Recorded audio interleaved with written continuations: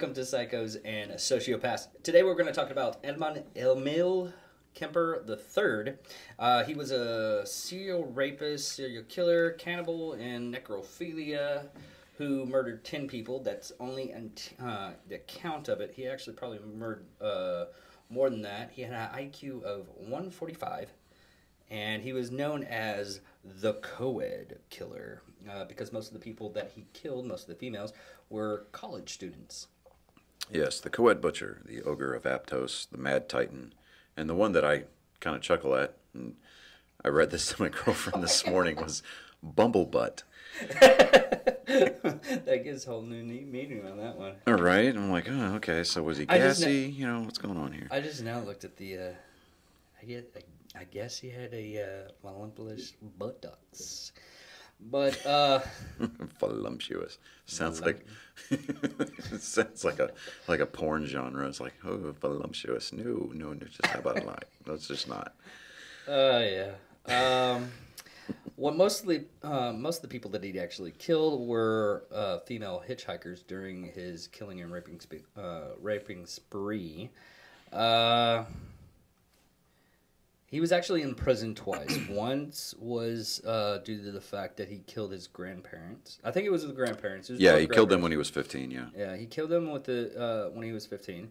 Uh, yeah, he was uh, diagnosed as a paras- paranoid schizophrenic by court psychiatrists and sentenced to the Atestacaro, I know I'm butchering that, state hospital as a criminally insane juvenile. They released him at 21 after he convinced psychiatrists that he was rehabilitated. And remember, this dude had an IQ of 145. So, you know, he knew how to work the system. Well, that was actually uh, what he said in the interview of uh, how he stayed out of the limelight so much because of the fact that he would actually talk to the cops. He wanted to be a cop. He yeah. actually took the exam, but because he was six nine, and I don't, I don't see why that would be a problem other than getting uniforms. Well, uniforms and being able to fit into cars, uh, and just you know the fact that, like for example, when I was in the army, I was with a in, in the army with a guy. Uh, his last name was uh. We called him Mo, and his nickname was Tree. Okay. Um, the dude, literally, he was like six six, six seven, and he was in the infantry, and it was it was comical because we would, you know, we'd go out to the field and we'd have to dig you know, foxholes or fighting positions.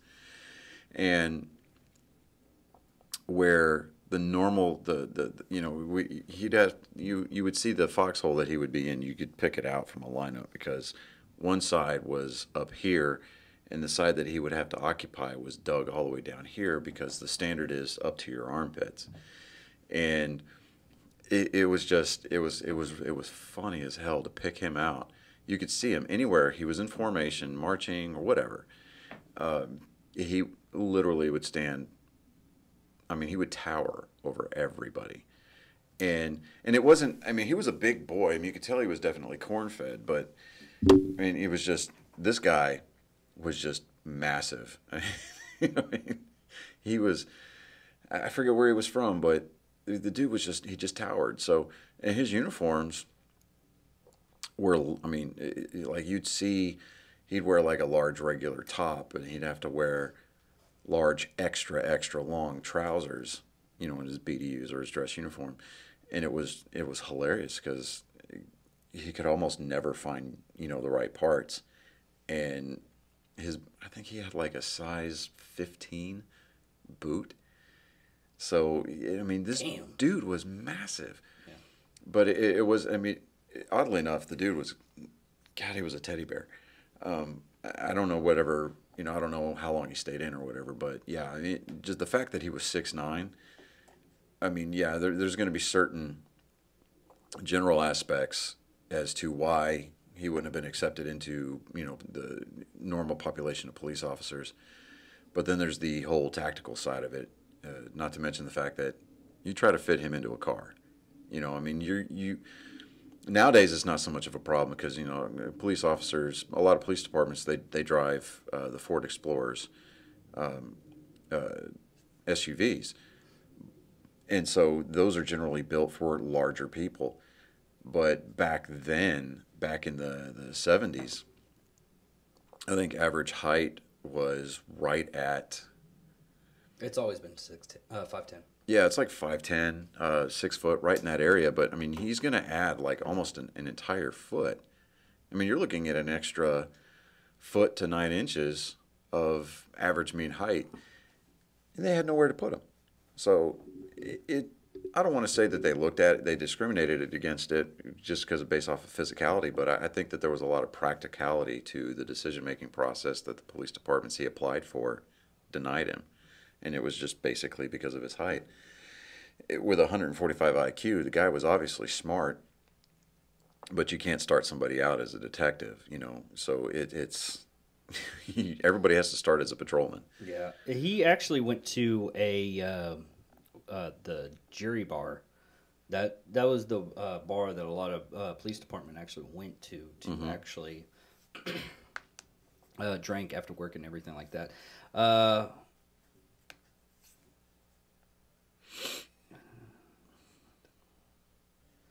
Apparently, he was diagnosed as also a uh, sociopath, but it was kind of a thing that a lot of people didn't understand. Is uh, it wasn't a typical sociopath, I guess. But a lot of it uh, during the interviews that he actually did do, and he did. There's a there's a lot of interviews with him, and uh, he basically said that uh, he felt really horrible for not being able to feel emotion. He could talk to a person, Yeah. but he couldn't go into a uh, relationship with somebody because yeah, he lacked the empathy. yeah It says here, um, I mean, he, he was older. Uh, I mean, quite a bit older than your average run of the mill guy or, or girl that, that we've profiled so far. Uh, he was a World War II veteran. And after the war, he tested nuclear weapons at the Pacific Proving Grounds before he went back to California as an electrician. Uh that no that that wasn't him I know. Uh, that was his grandfather Oh, that yeah. Uh, okay, so that Or was his, his dad. father. Yeah, his dad. I'm so sorry. Um, yeah, I see that uh, Edmund the second. So his dad. Yeah, because I was looking at, it, I was like, wow, wow, this guy. yeah was because he old, was but- born in 1948 right. Yeah. Okay. There we go. Um, but he was a big kid when he was born. 13 pounds as a newborn. I'm like, oof. You really hope that that was a C-section birth, because if not, oh man, mm-mm, nope. that, that whole thing of uh have you ever imagined a uh, watermelon coming out of a the, a the hole the size of something of a lemon. Yeah. n- Yeah. Nope. not even a lemon that was more or less like the size of a a straw Right. I think she's a 10 but centimeters. uh, throughout his uh, time before he actually started, his what ended up starting his uh, killing spree was the basic fact of his mother actually working at the college as a secretary, and uh, him getting frustrated with his mother because his mother was one of those uh, overbearing. Uh, you have to do it this way, or you have to do it that way, and I'm an alcoholic. She You're talking about his mother. Yeah. She, I mean, she was. she was a stone throw of piece of shit. Yeah, uh, I mean, even his dad, uh, Edmund II, that, yes, I have been corrected, it was the World War II veteran. Um, what is it says here that uh, she she often complained about his his dad's menial electrician job. Um, he later said that suicides suicide missions in wartime and atomic bomb testings were nothing compared to living with her, Wow. and that he uh, and that she affected him more than 396 days and nights of fighting on the front did. That that's saying a lot, especially coming from that generation and being on the forefront of nuclear weapons testings, such as it was back in the day. You know, where we had a lot of the uh, the open air blast testings, like uh, the the ones that were done in Nevada, and uh, well, with the Pacific Proving Grounds, uh, those were located um, uh, in, in the Marshall Islands. So there was, I mean, there was a lot of you know uncertainties in that job alone with the nuclear weapons testings, but with just the fighting that that took place in World War II, just the ferocity of it, just the overall degree of savagery that just took place there. You know, not to take away from today's warriors at all. I mean, we've got the body armor and we've got the plates and we, we've got all this technology that helps us in war fighting. Back then, they didn't have it. We had steel helmets that were not ballistic at all.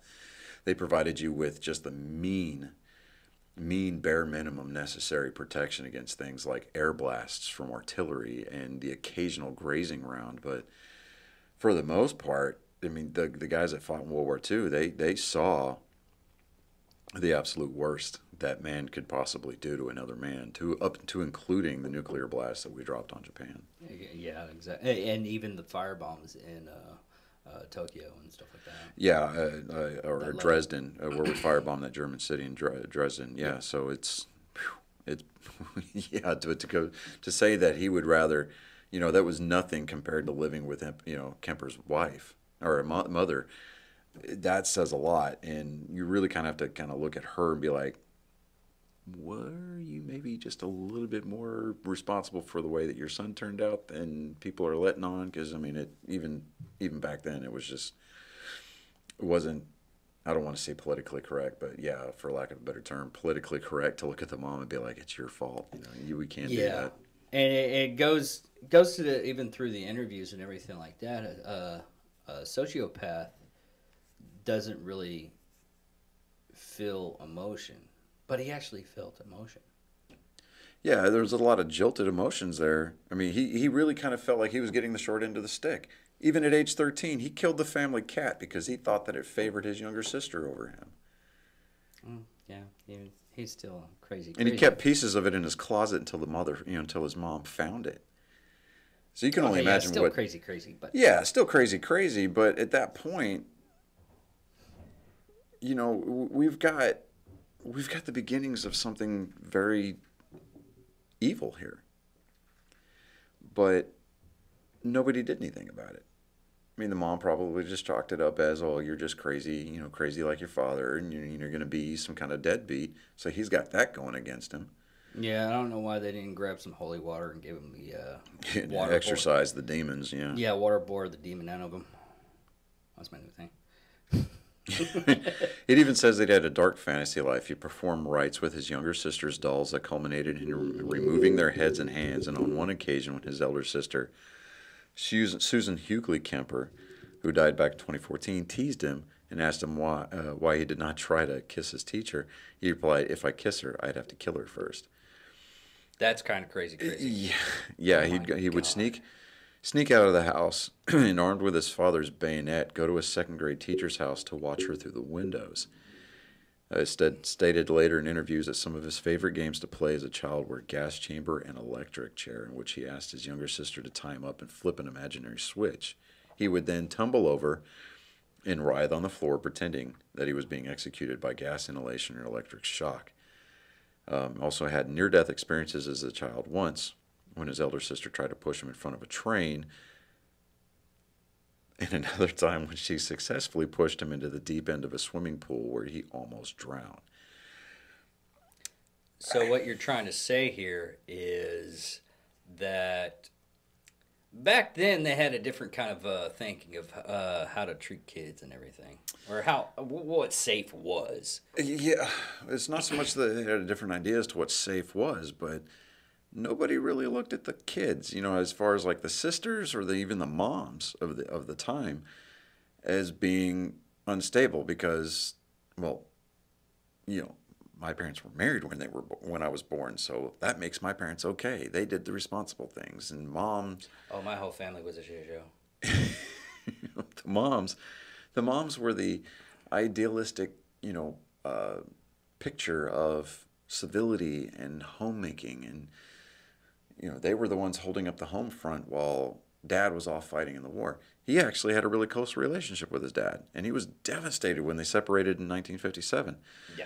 Um, actually, he probably would have turned out well, maybe, maybe not. If he'd have gone to live with his dad, he probably would have had a better chance of reining in those those. Um, well, you know, and let's back up a second because if he had gone to live with his dad, his dad probably would have put the fear of God into him yeah. and, and it had more of a stringent control or hand or handle rather of his disciplinary upbringing versus the mom. You know, the mom probably looked at him as a as a direct reminder.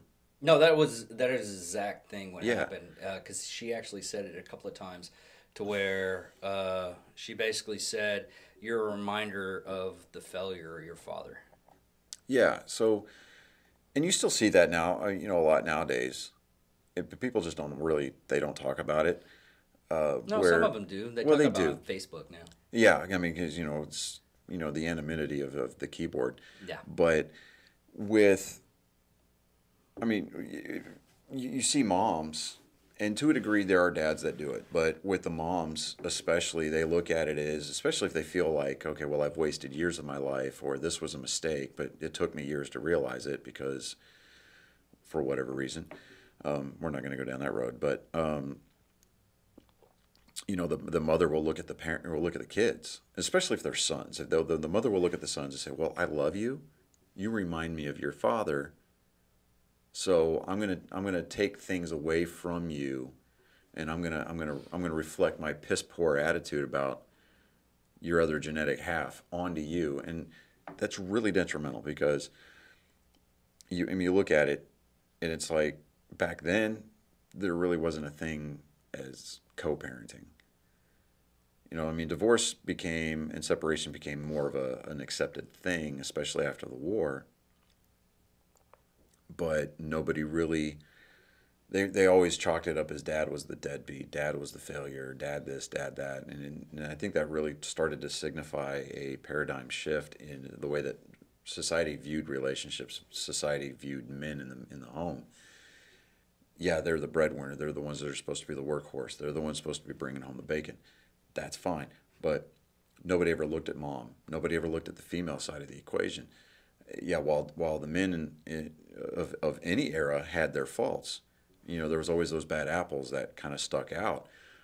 But nobody ever looked at the at the women, the the the matriarchal or archarial side of of the equation. Women and are are just as bitter and in a lot of a lot of cases you see they're more bitter after a breakup than the men are and i don't know if that is attributed to the way that men and women think you know because men uh, what does it say We're, we compartmentalize a lot of things whereas they say that women when you look at the way that their brains are wired it's more like spaghetti everything touches and everything's got something to do with the other thing whereas men are able to compartmentalize things and that's not that's not a sexist thing at all. It, it's it's been written in paper after paper after paper by both members of both genders, you know, all two of them. Um, so I, I think that a lot of what occurred later in his life can really be kind of traced back to the way that his mother viewed him Or just viewed men in general. it could have been just a men in general thing, but I, I really don't want to kind of throw that blanket statement out there. And that's a broad brush to paint with. I think we can be, in this particular case, with the documentation that's available for Kemper himself, that Kemper the Third, that you know we can really we can take that we can we can go from a six inch brush and we can go to a two inch brush and we can really kind of paint we can edge that corner and say a lot of his tendencies and a lot of the way that he behaved his, his developed and learned behaviors came from the way that his mother treated him versus his sisters because you don't see anything about their sis- his sisters you know you don't see anything about the way that they lived their lives or anything like that. They stayed off the radar. Not to say to say, not saying that they weren't set up for failure by the way that their mother treated their, you know, their brother, but they didn't go off on these huge tangents talking about, you know, you know performing last rites on on sisters' dolls or even murdering the cat because you felt like the cat preferred them over him. And I think a lot of that goes towards, it really kind of lends itself to the idea that without that father figure being present in the home, that positive male influence, because let's be honest, you, you've got male, you know, there's always going to be a male presence. Yeah. If, if, if the kids live with the mom, there's always going to be a male presence. And it's debatable as to whether or not the majority of those presences are going to be positive influences. Well, that's true enough. I mean, uh, you'll you will have a lot of times that the mother is uh, an emotional bag of uh, fireworks, Yeah. and uh, a lot of people are taking uh, credit to where it's we're just finding out a lot of the stuff that's uh, that a lot of the stuff that's happening in the human mind Right. which uh, I will finally get. Okay, there we go. That's perfectly fine. Yeah. But uh, I don't know why my mic does this. Yours is perfect. Well, it's because I'm using it. Yeah, I, figured as much. But I mean, like the fifties, the forties, fifties, and even the sixties, all the way up into the seventies, and, and and I want to say maybe that it's it's probably now. They started touching on it in the nineties and up into the twenty first century, up to present day. They're only just now recognizing the male emotional state. Um, because yeah, there's a lot of female actual activists that let everybody know. It's like, hey, he's a man. You need to listen to him too. right. You need to.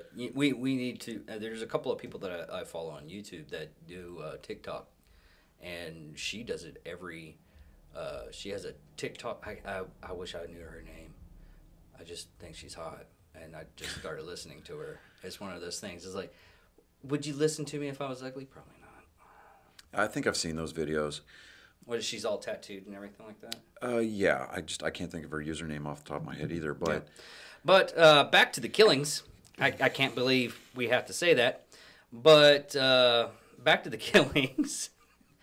Uh, uh, the first victims were Marianne uh, uh, Pesco, Pesky, Pesky, and Anna uh, Lazesta. Uh, Kemper ended up driving uh, driving into Berkeley when he picked up uh, two 18 year old hitchhikers, uh, students from Fresno State University.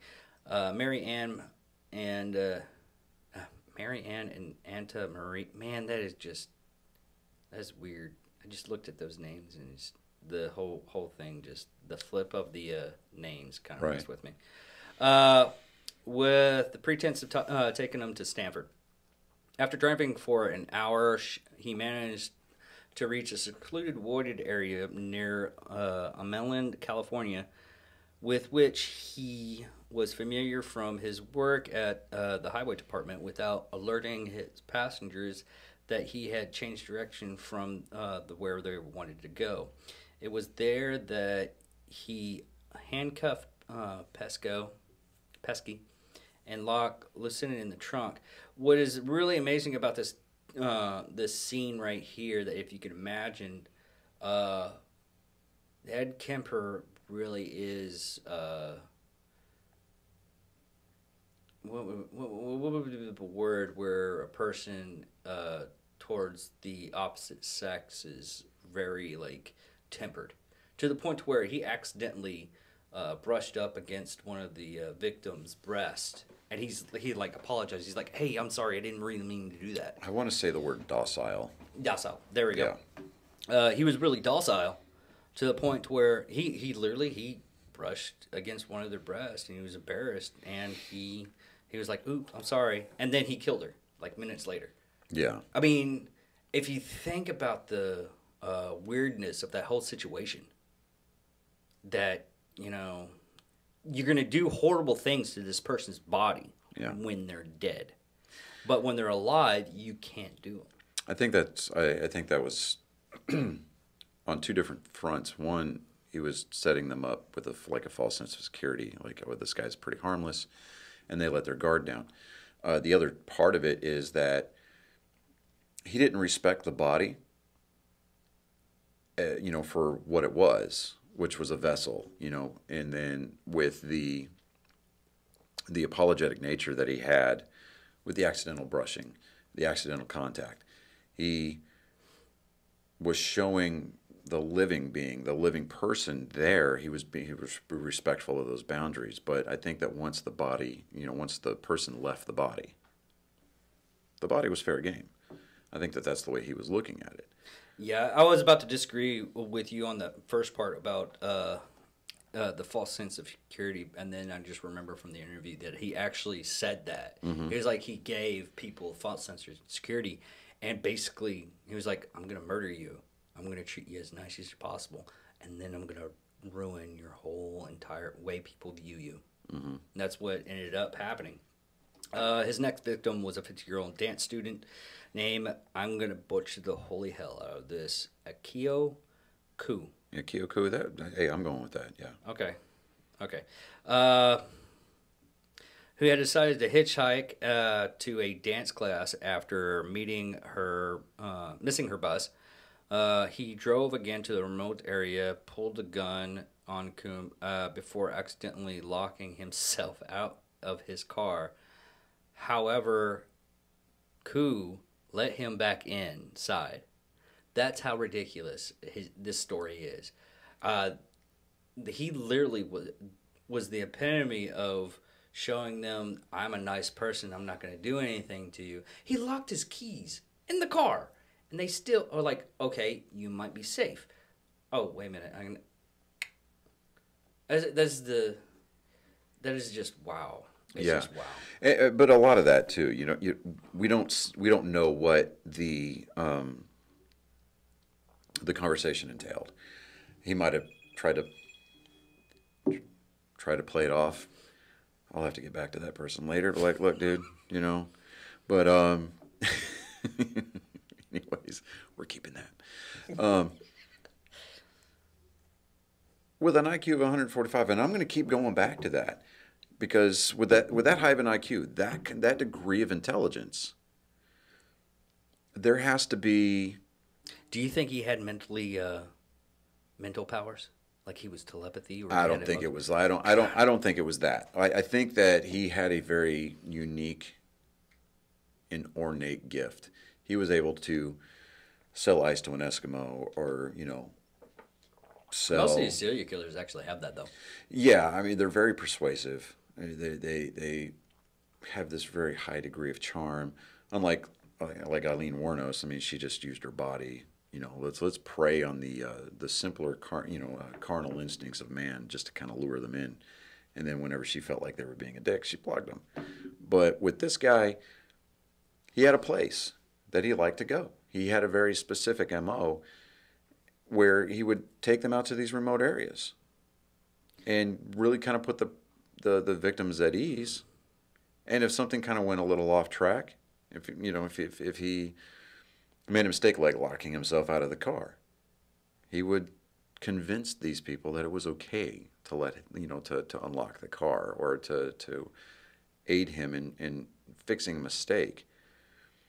So I, I think that with the information that we have, I think that the the, the ludicrous nature of, of these stories really be, kind of becomes clarified if we had all the facts. So, I mean, what what was being said during that conversation when you're talking through the window of your locked car?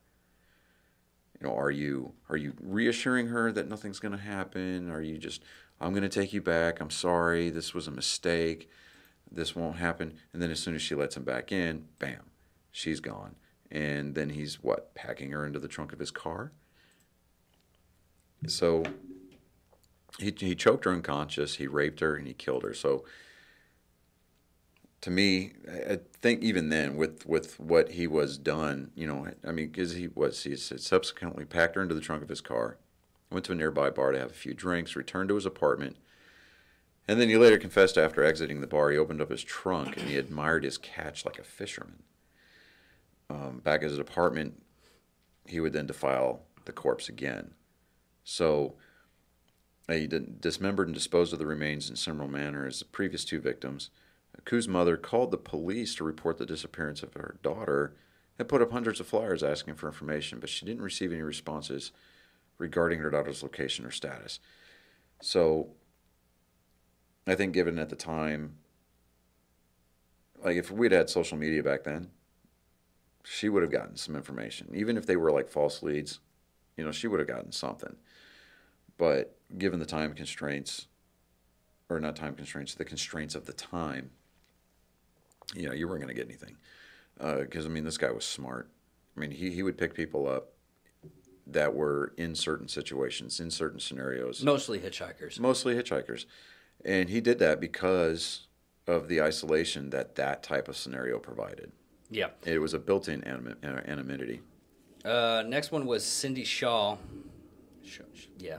Uh, Cabr- Cabrillo campus. Mhm. Man, I, I, I went over this- Calabrio? Yeah, Calabrio. I went over these things with a fine tooth comb to try to uh, figure out how to. And I'm as soon as sticking an L in there. So, yeah. Yeah. So, Uh, Cabri- Cabrillo College. There we go. Yeah. Uh, when he picked up an 18 year old student, uh, Cindy, uh, he drove to the wooded area, uh, fatally shot her in the uh, uh, head, uh, placed her body in the trunk, drove uh, to his mom's house, and he kept it in a closet uh, room overnight.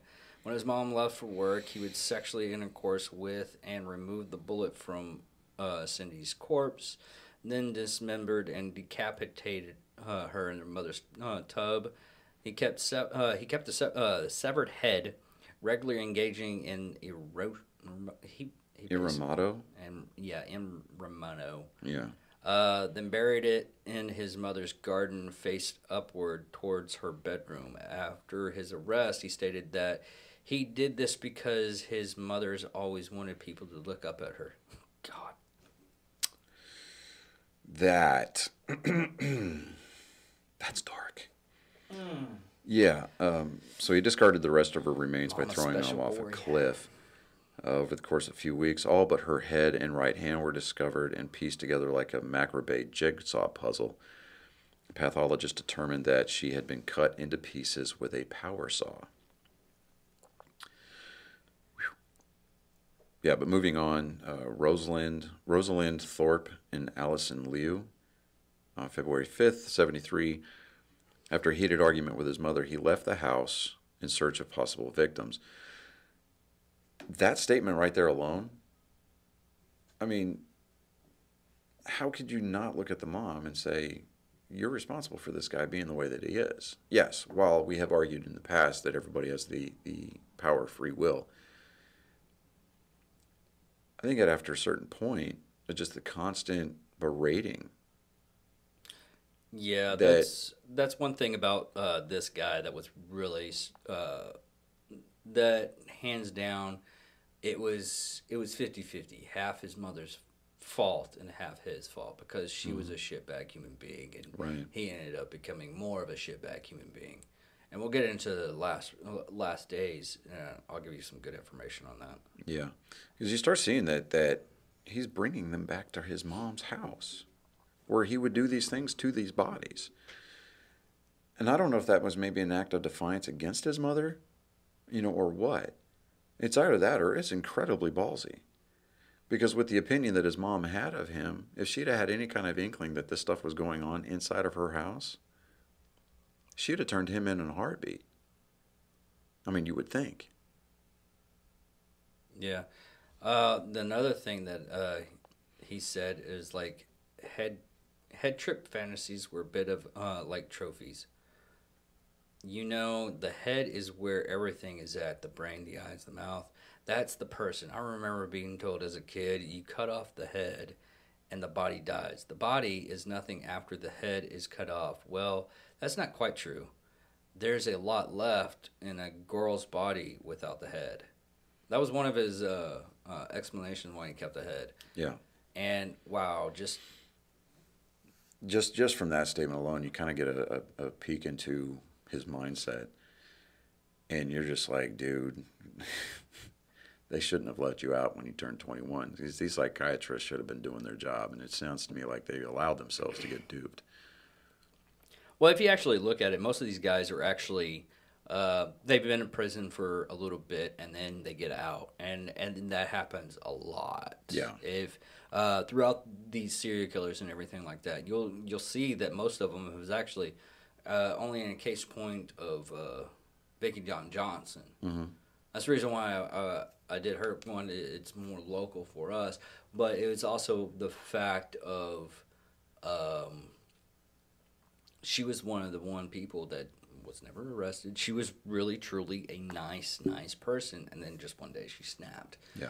But most of these people that actually gotten arrested, Uh, I would have to divvy into because uh, of what the people were like. Like the one we were supposed to do today with the two kids, where they tortured that other kid. I couldn't find any kind of information because, well, it's two kids. You and most of the stuff is uh, Sealed up. yeah. sealed up, yeah.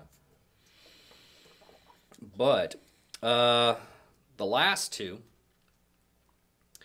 after coming home from a party, 52 year old Camille uh, Elizabeth Strandhol, uh, Strandberg awakened her son with her arrival. While sitting in her bed reading a book, he noticed Kemper entering her room and said to, uh, said to him, I suppose you're going to want to sit up and talk.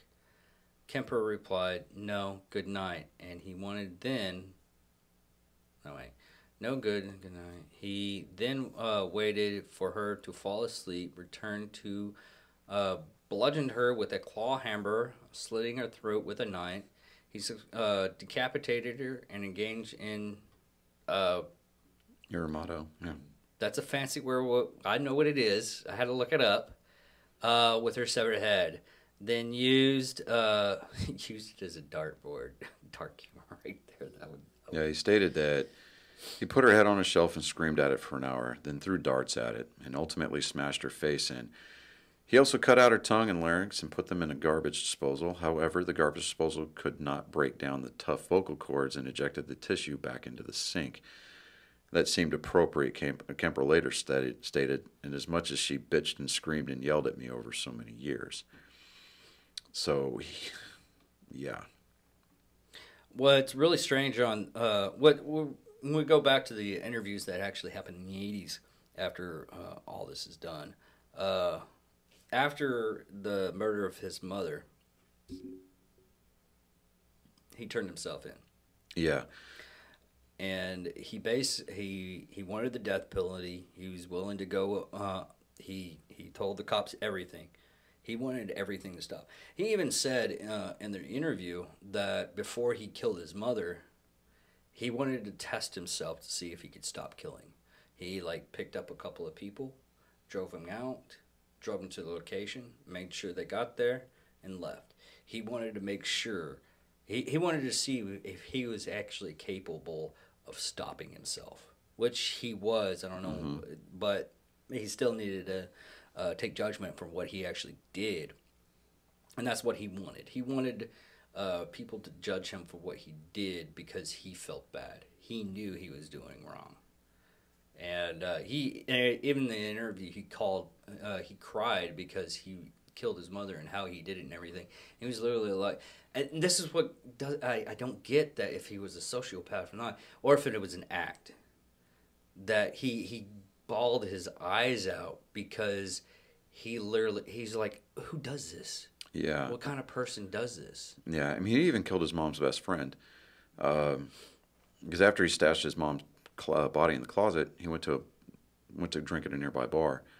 Uh, when he came back, he invited his mom's best friend, 59 year old Sarah Taylor Hallett, over to the house to have dinner and watch a movie. When she arrived, he strangled her to death to create a cover story that his mother and Hallett had gone away together on vacation. He uh, then put her corpse in a closet, obscured any outside, outward signs of a disturbance, and left a note to the police, and it read, approximately 5:15 a.m. Saturday. No need for her to suffer anymore at the hands of this horrible mur- or murderous butcher. It was quick, asleep the way I wanted it, not sloppy and incomplete, gents. Just a lack of time. I got things to do.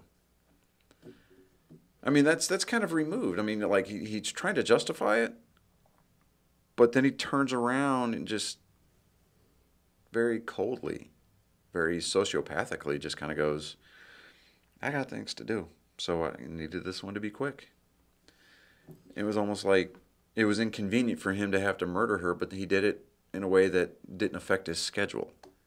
Yeah, and uh, his actual counsel uh, wanted him to plead uh, not guilty by reason of insanity, and Kemper twice tried to commit suicide in custody. I mean, he really felt bad for what he did, Yeah, but am I? Oh, it's one of those things. It's I can understand it. I just, it's one of the man. I really can't just. it, it's one of those. Th- it's one of those things. You're you you know in the back of your mind. I was like, oh, he's really nice, but he will eat you. It's like it's like hanging out with like a grizzly bear. It's nice and everything until he actually is hungry, Yeah. and he will freaking rip you to shreds.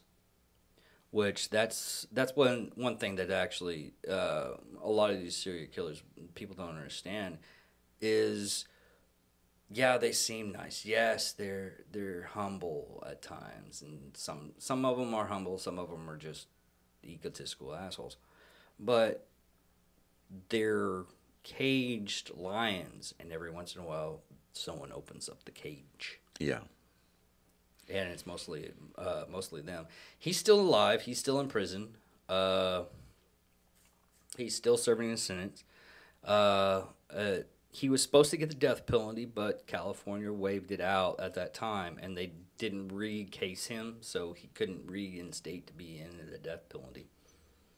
So Yeah, I, you know, I think the time that he's been kept, uh, you know, alive, uh, has really served to be a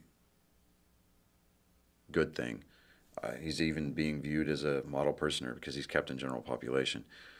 But uh, it says here, you know, Kemper is forthcoming about the nature of his crimes and has stated that he participated in interviews to save others like himself from killing. So he's like, there's somebody out there that is watching this and hasn't done that, hasn't killed people, and wants to, and rages inside and struggles with what that with that feeling, or is so sure that they have it under control, they need to talk to somebody about it. Trust somebody enough to sit down and talk about something that isn't a crime, thinking that way isn't a crime.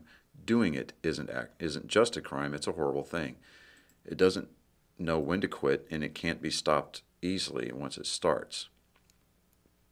So I don't, you know, I don't know if this is so much him just being the smart guy that he is, or if it's actual empathy and compassion and remorse creeping into that psyche and trying to gain a foothold.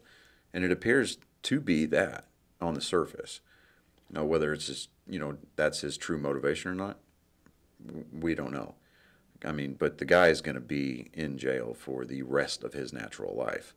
I mean, it's just because one California doesn't have the death penalty anymore, and I mean, jurisdictional lines being drawn the way that they are, they're not gonna they're not gonna extradite him to a state that they can go stick a needle in his arm.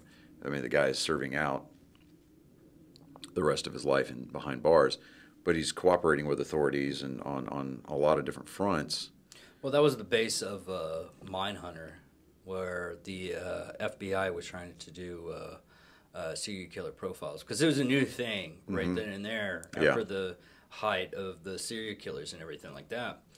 And I don't know if the uh, if the TV show is true. There's a lot of dramatization of it and everything like that. I don't know if FBI actually talked to Ed Kemper personally to get uh, information and why he killed and everything like that. But it's an interesting thought. Yeah, I mean, he he does do a lot of interviews and everything, and, and he literally says, "It's like I really hope nobody does what I do." right.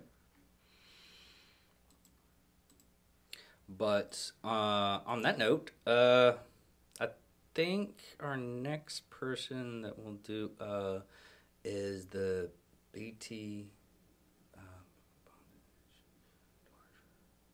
BTK killer, hmm which uh, was actually in uh, in Mindhunter. He was the one they were trying to find and everything. Right. and he's he he's another guy that was the uh, guy next door that was really nice and everything, and he was a he was a crap bag. But uh, that's it for today. I'm David Dickerman, I'm Johnny Skelton. and this is Psychos and Sociopaths. See you next time, people. Don't kill anybody. Okay. That's getting edited out.